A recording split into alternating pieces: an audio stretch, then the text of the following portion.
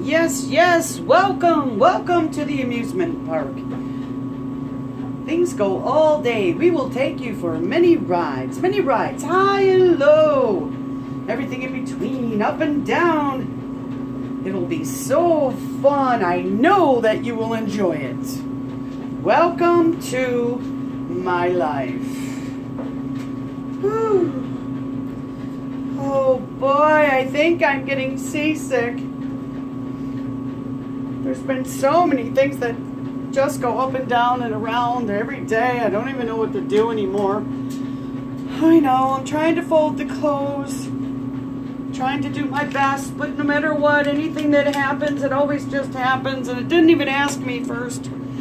I wish they would ask me. But you know, they already know what the answer will be. I will tell them no. No.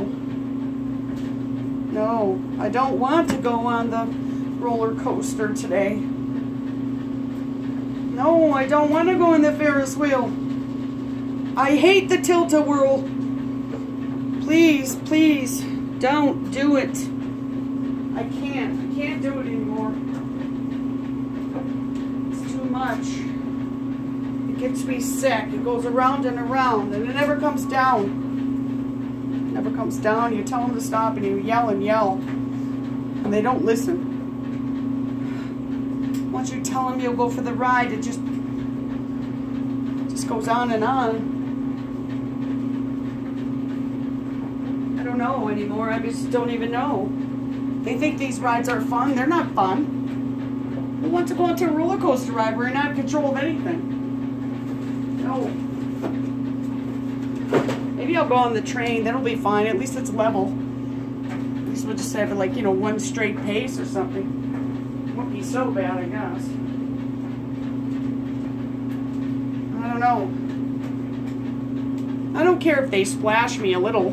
You know, I'll go down the boat ride or something, but I don't know. It just gets to be too much when we go upside down and all around and, and through the tunnels, and then it gets dark. I don't know where I am.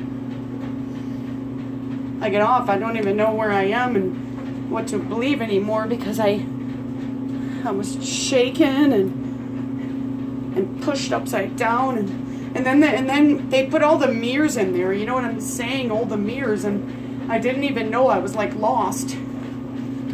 I was so lost. I kept seeing myself everywhere. So the last thing I want to do is see myself. Take me somewhere, maybe on some new ride where I could see someone else or I don't know. But then I feel like I'm in the what is it called? The factory, the Charlie and Chocolate factory thing. I don't know. It goes on and on and on, banging into the walls. I don't know what I'm seeing anymore. I'm drinking bubbles, I bump into the ceiling and it needs to be washed and sterilized and everybody's yelling at me.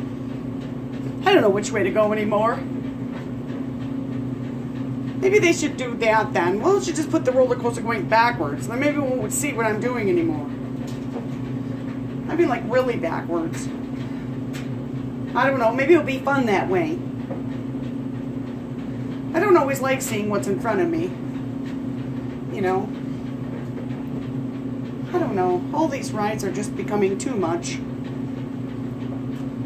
It ends up and I, I find out what what a carnival or a roller coaster is in the first place. And then I go home and, and it's just like I'm on one of them again. I don't even know what's better.